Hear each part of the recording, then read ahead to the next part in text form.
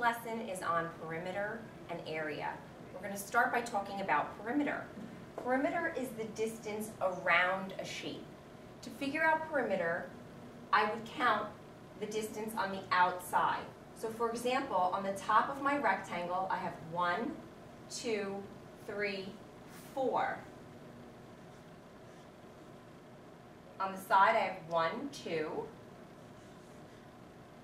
one, two, three, four, and two on this side. I would then add all these distances together. 4 plus 2 is 6, plus, two, plus 4 is 10, plus 2 is 12. It's very important to make sure you put the unit. So my answer would be 12, and it must include a unit.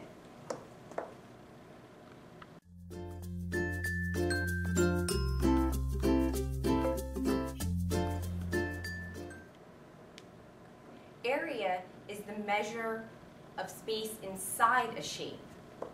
So we're measuring the inside of this rectangle.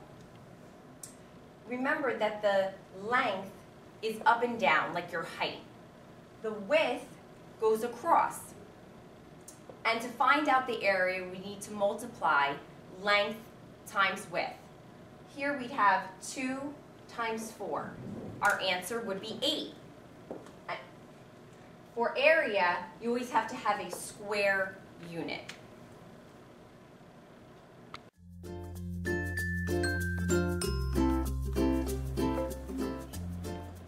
Here are two tips to remember the difference between area and perimeter.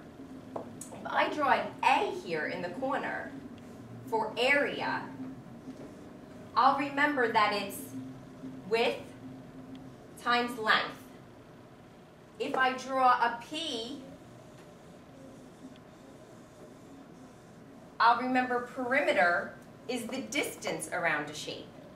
If you have any trouble, your student reference book is at home.